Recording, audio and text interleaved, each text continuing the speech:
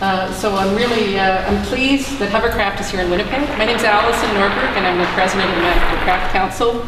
Tonight, we're going to hear from the curators of Hovercraft, uh, Carrie Lynn Reeves and Jenny Western. I'm going to turn it over to you. Thanks, Alice. Thank you. Hovercraft is the show that Carolyn and I have been working on and working towards for a few years. And Um, we're going to kind of approach this talk sort of how we approached curating the show, which is uh, in a somewhat casual way um, and quite a organic kind of way.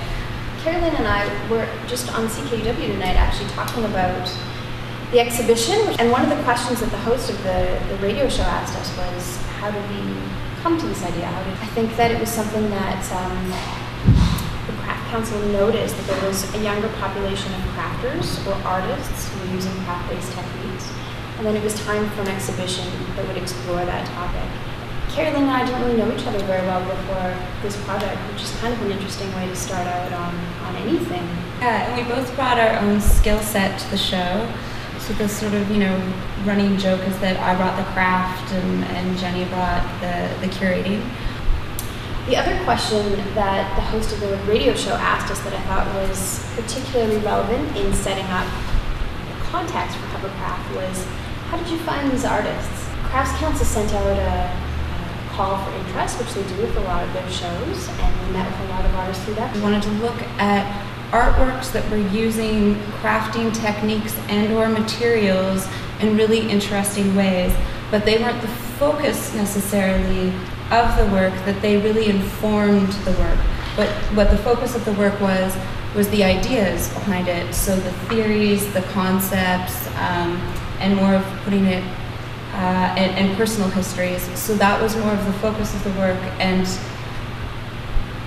what I guess informed it or, or made it stronger or more interesting or dynamic was the use of craft techniques or materials. So, and then we just went from there and started to do all these studio visits with the artists that had um, shown their interest to the Craft Council's call and artists that we sort of sourced out. So Jenny and I just kind of rode our bikes around the city all last summer and did all these amazing studio visits. It isn't just about uh, artists using craft techniques or crafters entering the art world. It was also that we wanted work that was pushing boundaries not only by technique, but yeah, also by the, the ideas and the thrust of what was behind it. So um, theoretical or political, um, historical, uh, scientific, mathematic, all these ways that were surprising that were coming out from Manitoban artists. And that was that was part of it was that the, the Craft Council had given us a bit of a parameter that they obviously wanted to be looking at Manitoban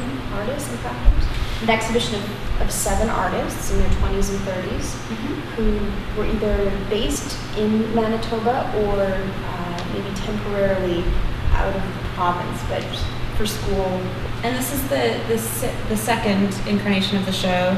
Uh, so every time that it is shown, it's been really interesting to, to install it because there's new relationships that start happening between the work and there's new understandings of the work. But we were really looking for a diverse range of, of age, of work, of um, approaches to work, and as well um, aesthetics and just looking for a really nice dynamic.